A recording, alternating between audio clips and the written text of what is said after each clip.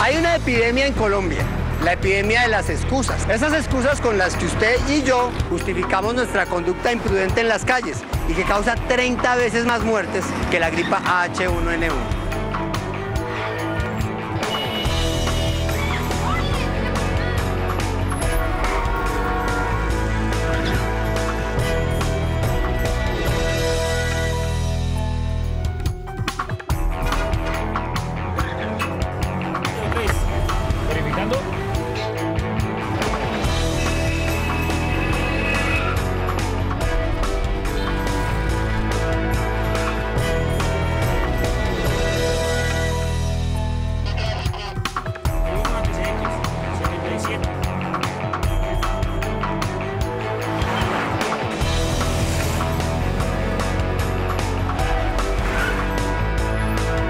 Y no crea que usted se salva, aunque lo niegue, usted ya está contagiado.